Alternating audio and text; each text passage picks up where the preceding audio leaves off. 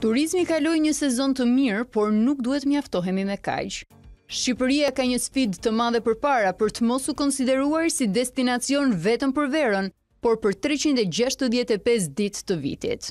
Ky bum mbetet sezonal, kryesisht sezonal. Mund të themi pati një bum turizmi gjatë verës dhe tani vëmë re që, ok, Tirana është e mbushur, po në destinacione të tjera kanë filluar t'i mbyllin Çadrat, bizneset, pra e gjitha pjesa fillon tani dhe reduktohet. Për ekspertët qeveria ofron si analizë vetëm shifrat e hyrje-daljeve në kufi, një e dhënë që nuk tregon shumëçka. Mburrja e vetme nëse kanë qeveritarët tanë janë shifrat.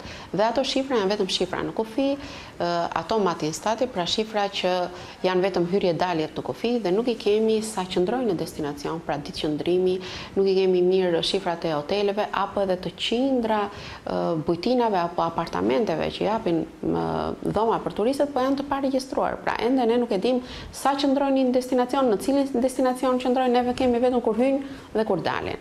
Nga eksperienca e keqe e vitit dy mijë e njëzet e një, këtë vit masat u përqendruan te pastërtia e plazheve dhe zonave turistike. Por pa një plan, turizmi në vend vijon të mbetet kaotik. Nuk ka një plan të qartë.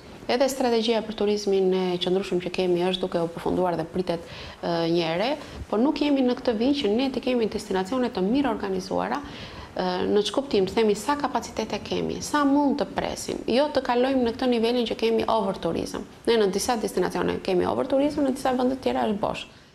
Organizata Botërore e Turizmit sugjeron orientimin nga turizmi i qëndrueshëm, që përfshin ndihmën ndaj shtresave në nevojë, mbrojtjen e natyrës dhe mbajtjen pastër të mjedisit.